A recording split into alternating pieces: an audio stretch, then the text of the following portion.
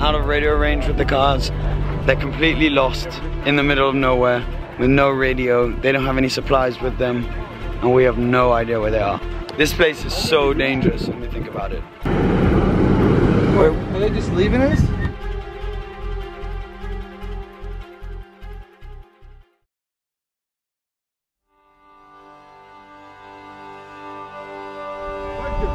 We are just told to get back into the car really quick and we don't know where we're driving. There is nothing, absolutely nothing Okay, this is not very good. Apparently we have a flat tire. Oh God, oh yes, oh yeah we do, we really do. So pumping it up and then putting water to see where the issue is. This is about as remote as punctures get. They just pumped it back up and then they said inshallah. Pump it. I guess we're just going to see what happens now. Out there, out there. See? You see? Out there. No, no, no, no, far out. I'm never going to Got him. Got him. Go up the hill. Hey, you see? Yes, yes. See him? Got him. Flash the lights. Flash the lights. Call the guys. Whoa, you probably can't tell on camera, but we're going over like waves of sand. Whoa. So they got lost in the dunes. Yeah. The best thing to do when you get lost in the desert is go to the highest point. Yeah. And point your lights.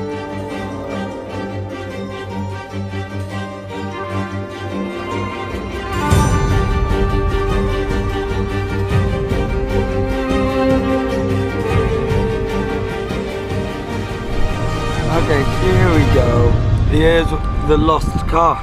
Desert updates, we've lost people today, we've had a puncture. Today's been a slightly more, it's been an eventful day today, but uh, we'll get there, we'll get there. We've still got like another six hours to go. A little bit of background as well on this one. This, we're in the what we call the soft sand areas. The sand is, well, it's incredibly soft. I mean, look, I can just dig in so easily. But this, when I say this, I mean literally everything you see around me used to be many, many, many, many, many, many years ago, a lake, which is dried up completely, as you can tell.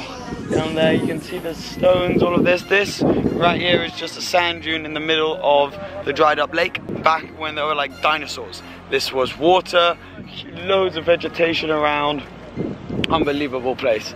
To be able to see it now, and see just how vast it is, how huge this place is.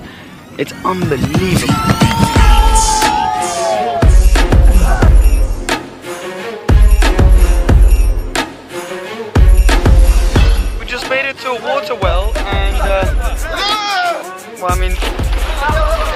Jumped in.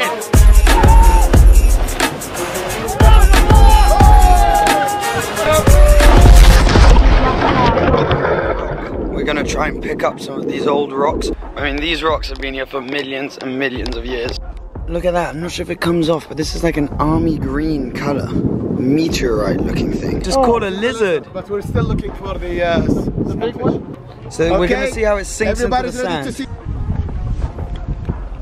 Wait. Just leave it. He's gonna do it now. Oh, nice. There he I is. need to get That was our last stop before leaving the desert. We're heading out now. We've got a long drive. We're gonna be at the hotel at like midnight.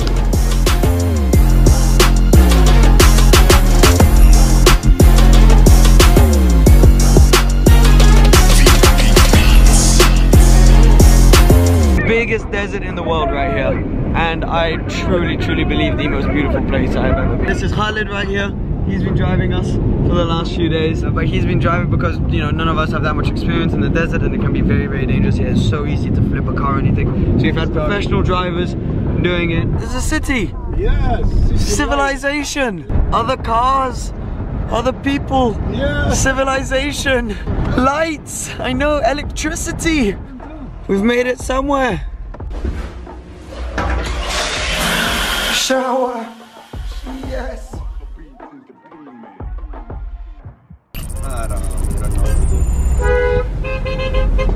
We're in a G-Wagon today and the convoy has grown. Oh yeah, 18 cars. 18.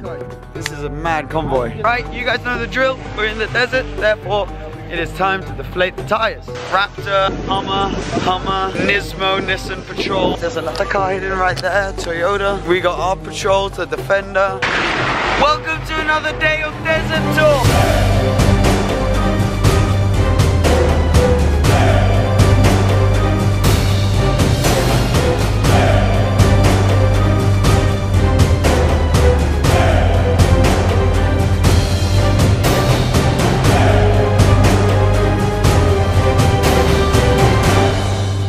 Look at this, we've come to a lake. This place is beautiful. I've seen this all over Instagram. This is unbelievable. Crazy, isn't it? Oh my god. Eddie keeps filling me with fun facts. But yeah, this is the biggest lake in Saudi Arabia.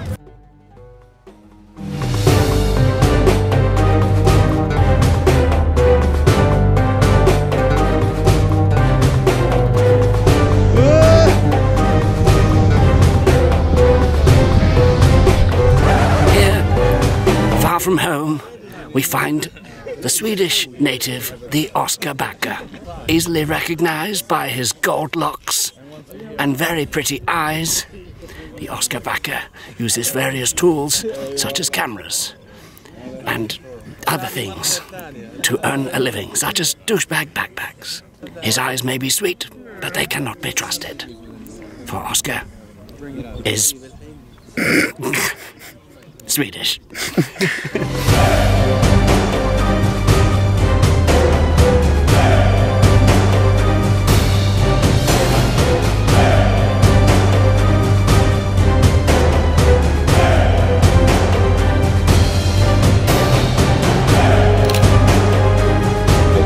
guys, can I hop on? Thank you very much. This is the way we do it on Desert Tour. Find the nearest car. Eddie, how you doing? Doing great, man. You good, huh? I'm good, I'm good, buddy. This is, uh, we're using the G-Wagon properly. People who say G63s don't get off-roaded, I say come on Desert Tour.